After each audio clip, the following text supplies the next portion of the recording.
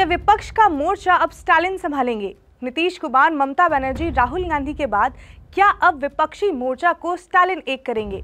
2024 से पहले क्या होगा विपक्ष का? बात करेंगे इस वीडियो में। नमस्कार, मेरा नाम है स्वर्ण और आप देख रहे हैं अनकट।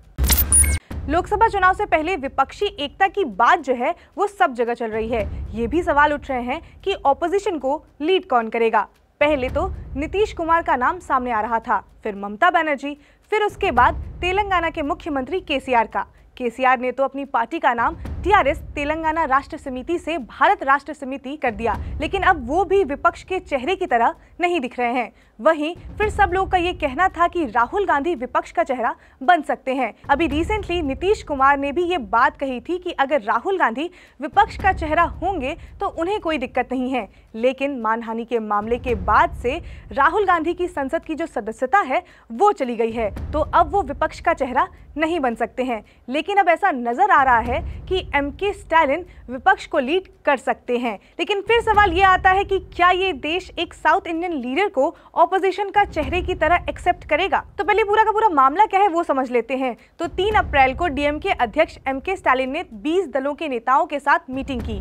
लोकसभा चुनाव से पहले डीएमके ने विपक्ष को एक करने की ये दूसरी बार कोशिश की है। इससे पहले स्टालिन के सत्तरवें जन्मदिन पर एक मार्च को चेन्नई में हुए समारोह में विपक्ष के नेता एकजुट हुए थे। हालाँकि मीडिया से बात करते हुए डीएमके का ये कहना है कि ये मीटिंग एक गैर राजनीतिक मीटिंग है। लेकिन हम सब ये तो जानते ही हैं कि नेताओं के लिए कोई भी इवेंट गैर राजनीतिक नहीं होता है। लेकिन वहीं पॉलिटिकल एक्सपर्ट्स का ये मानना है कि ये ऐसे इवेंट विपक्ष को एक करने के लिए किया जा रहा है और तैयारी जो है वो 2024 की है। लेकिन डीएमके का कहना है कि ये मीटिंग न्याय आंदोलन को ले जाने के लिए किया जा रहा है। लेकिन लास्ट टाइम भी जब पूरा विपक्ष एकजुट हुआ था, उसे 2024 की तैयारी को लेकर देखा जा रहा था। उस टाइम भी स्टालिन ने यह कहा था कि पूरे विपक्ष को बीजेपी सरकार के खिलाफ होने की ज़रूरत है।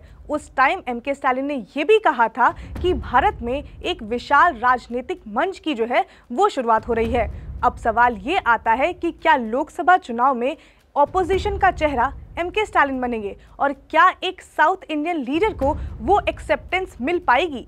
नॉर्थ इंडिया में यूपी बिहार जैसे राज्य हैं जहाँ लोकसभा की सीटें काफ़ी ज़्यादा हैं। तभी तो लोकसभा चुनाव में जो इनका इन्फ्लुएंस है और जो डोमिनेंस है, वो काफ़ी ज़्यादा है। ये हिंदी भाषी वाले राज्य हैं और साउथ इंडिया और नॉर्थ इंडिया का जो लैंग्वेज को लेकर कॉन्फ्लिक्ट है, वो तो काफ़ी लंबे टाइम से चलता आ रहा है। तो ये भी ऑपोजिशन के लिए बहुत बड़ा चैलेंज होगा। राहुल गांधी की सदस्यता जाने के बाद भी हमने देखा कि कैसे पूरा का पूरा विपक्ष जो है, वो एक हो गया था। टीएमसी और कांग्रेस जो एक साथ आते हुए नहीं दिखाई दे रहे थे, राहुल गांधी की सदस्यता जाने के बाद वो भी विपक्षी एकता में एक दिखे। तो विपक्ष चुनाव से पहले एकजुट होने की पूरी कोशिश कर रहा है। अब ये कितना सफल हो पाएगा या नहीं, वो तो आगे आने वाला टाइम ही बताएगा। खैर, जो भी होगा, हम आपको अपडेट देते रहेंगे। जुड़े रहिए अनकट के साथ। इसके साथ ही अगर आपको ये वीडियो पसंद आई हो तो लाइक करें, शेयर करें, सब्सक्राइब करें अनकट को।